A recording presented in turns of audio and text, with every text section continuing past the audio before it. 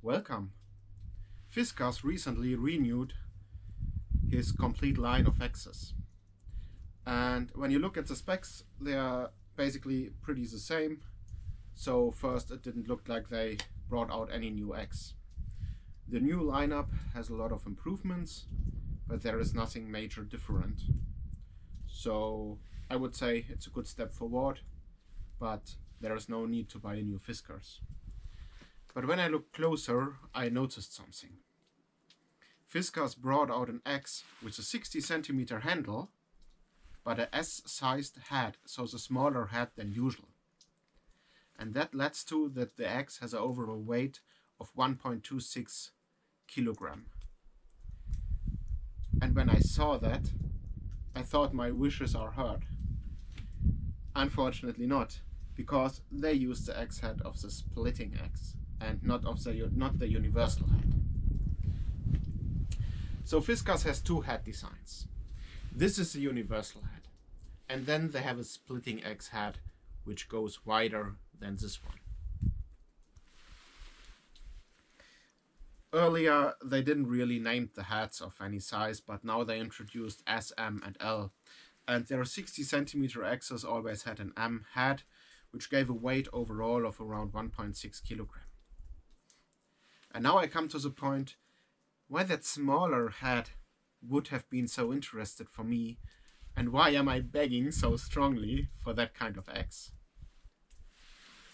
When you are in the wilderness, you mainly cut wood with the axe. You hardly split wood. The goal is if you have a log to make it shorter, so you cut it with the axe. The reason why I use an axe instead of a saw is pretty simple. The saw uses always the same muscles, so the muscles get tired very fast and the saw is slower. So the axe requires much more technique, of course. You need to be able to use the axe properly, but when you can, the axe is faster, you can work longer, and your muscles don't get so tight, because with the axe you have a whole body movement. You split a little bit in the wilderness, mainly that you have some smaller wood perhaps to start the fire, or when it is heavily raining you want to get at the inside wood which is dry. But still that is a small part. When you are in the wilderness and you need to carry all your stuff with you, weight matters a lot. You want to be as light and weight because it strongly impacts how much energy you need and how far you can go. For example, when I hunt in the wilderness, it makes a big difference if I have 26 or 27 kilograms with me for a long hunt. Every kilogram on top matters more and more.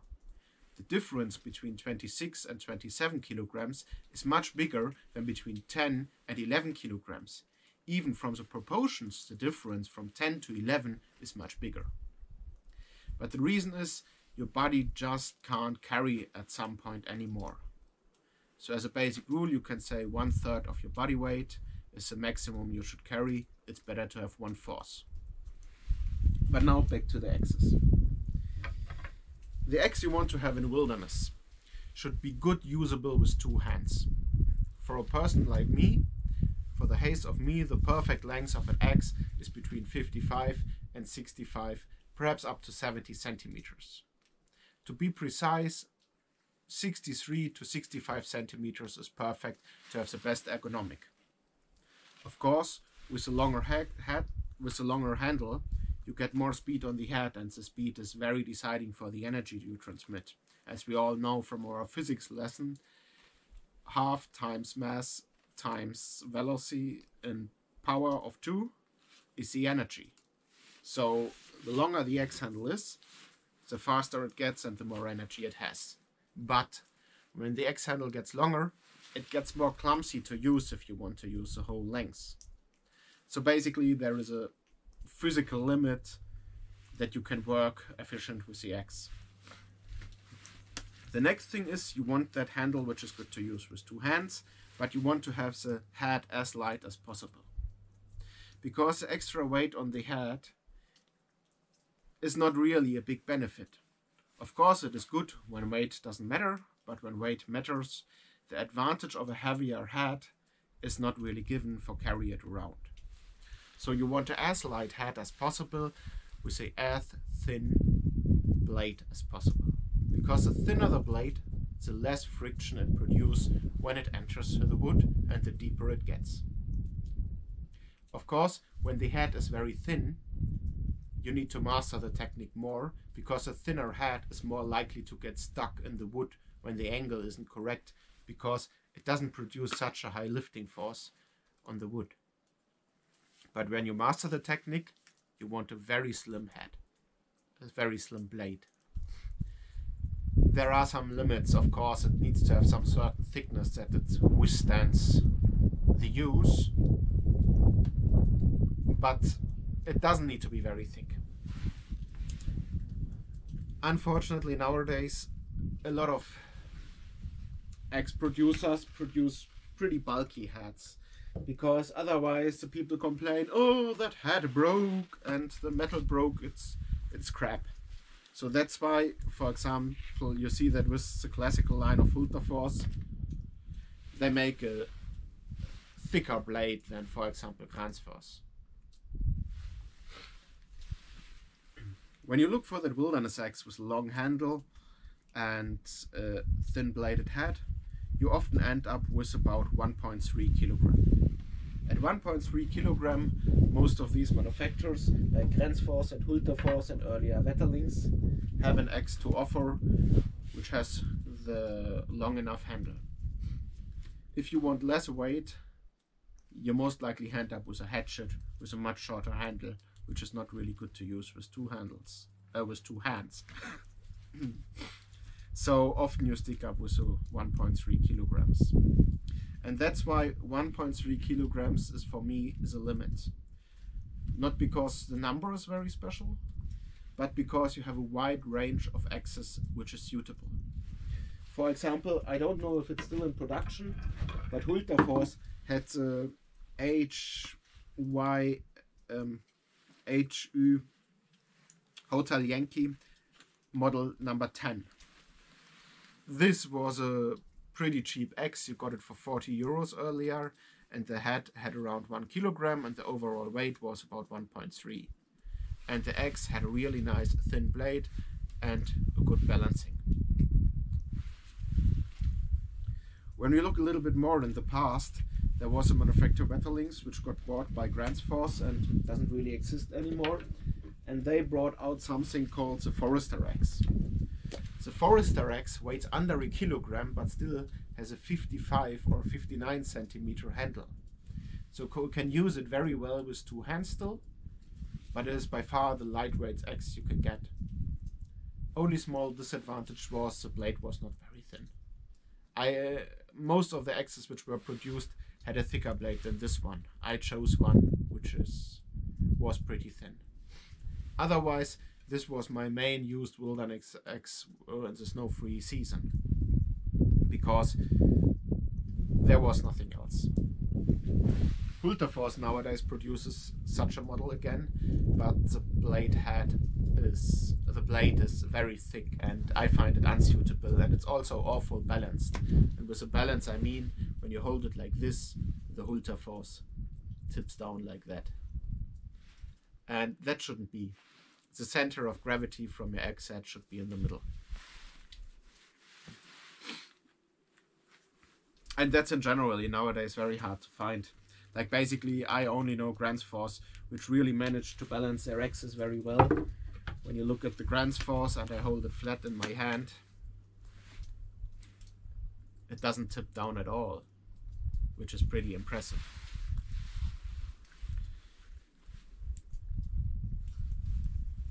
So, why am I looking for that Fiskars so much? I said in the beginning of the video I would like the S head, which is that head, together with a 60 centimeter handle.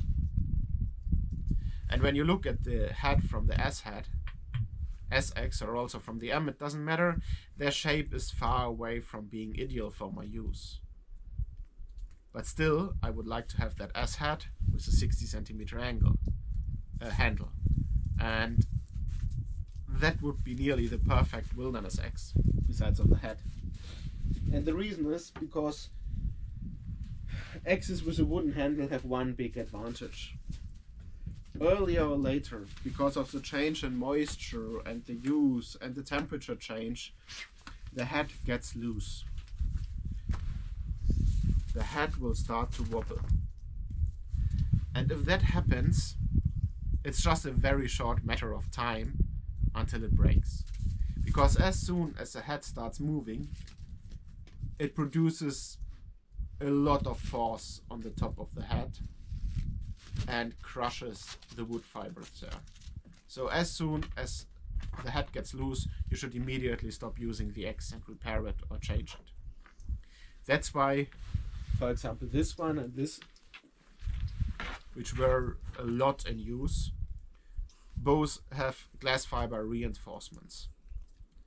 So both of the heads got loose and you can't see it anymore, but I put some additional spreading in the top and then I used that glass fiber to reinforce it and since then they are rock solid. Why do I do it with a glass fiber instead of changing the handle? Because the handles are fucking expensive, especially Hultafors is crazy nowadays with their handle prices. And changing a handle takes pretty long. But that glass fiber thing goes super fast and in my experience it just holds, even if it is not done very nicely. So I have a little bit problem trusting the wooden handles because I know from the experience they always can fail. It depends on the manufacturer. Manufacturer. For example, the Hultafors handles they fail pretty easy. Like basically all my Hultafors X's, uh, the handles got uh, the X heads got loose, and I needed to repair them. Um, interestingly, I don't have any Gransfors X where that happened, but I'm pretty sure it's also just a matter of time until it happens with the Gransfors X. And that's why I like glass fiber handle. Because glass fiber handle, basically nearly nothing can happen. In winter, I try to use only glass fiber handles. Because when I chop ice, for example, to get on the water, it can always happen that the ice hits the handle. And ice is very, very hard and will always damage the wood. And when I work with wood, I can take care that nothing hits the handle. But when I work with ice, it's pretty difficult to really make sure that no ice is hitting the handle. Now, of course, there are a lot of guys who say, oh no, I don't take a plastic handle. Because when that plastic handle, that glass fiber handle breaks in the forest, I can't reshaft it. But when the wooden handle breaks, I just go with the head and carve some new X handle and stick it in and it's good to go again. That sounds in theory pretty logic, but it hasn't but it doesn't have a lot to do with reality. You know, when you are in the forest and hunting or doing something, you don't want to sit where there and carve one day an axe handle, basically only with your axe head or with a knife. And it's also pretty unlikely that you really make such a good axe handle that it really holds the heavy use. And the other problem is like then you first need to get that old axe handle out, you need to make a fire, you need to burn it out, like it's a huge amount of work and I can't imagine myself sitting in the forest when I want to hunt and making axe handles out of some wood I find somewhere. You also need to find proper wood and and my I think it's a the theoretical thing. Like, it's not really practical. And these glass fiber handles, they hardly ever fail. I mean, there are some cases where there are reports about a production mistake that they failed. But basically, when you see the tests and when you test them, you don't get them broken. I mean, you can smash the handle against the stones with full force several times. There are more than enough videos on the internet where people do that. And of course, they get some markings, but still everything is intact. And especially uh, with the new design, they also even improved it further that the X head can't get loose. So I use these axes in a temperature range of minus 45 to plus 30 degrees and they are always out and whatever and nothing breaks there is just no problem at all even in heavy use and abuse so for me as a someone who is relying strongly on the X and uses it so much, the glass fiber option is much more reliable than a wooden handle.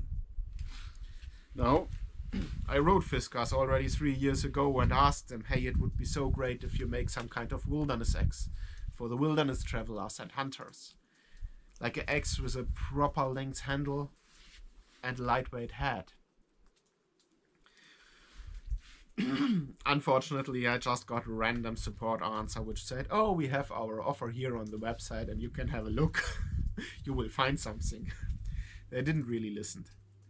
But now, when I saw that, I was really excited. And I was even shortly thinking if I should take that for me pretty stupid splitting hat in the S version it's a 60 centimeter handle, but I decided no, I don't want that splitting hat. Already that normal hat is pretty bulky. So, verdict. I really hope Fiskars brings out 60 centimeter handle with S head and then we land somewhere at 1.2 kilograms perhaps. The S head, the universal head, should be also lighter than the splitting head, so I hope we perhaps end up with 1.2 or something. And then you would have a really super reliable X in the forest, and that would be so great. So, let's hope that someone from Fiskars watched that video. and I strongly hope they produce that. okay, it was quite a lot in the video, a lot of different topics regarding X hats, um, X designs. I just like cutted everything very, very shortly, but that is needed to understand why I would like to have such an X. Every part of the video on its own, like every two minutes I told in this video I could stretch to talking one hour, but it would just get too long. So I hope you got my point. But if you have any questions, please write that in the comments below. And I can also make follow-up videos where I explain more about what I meant in this video. So, hopefully you tune in next time again. See you soon.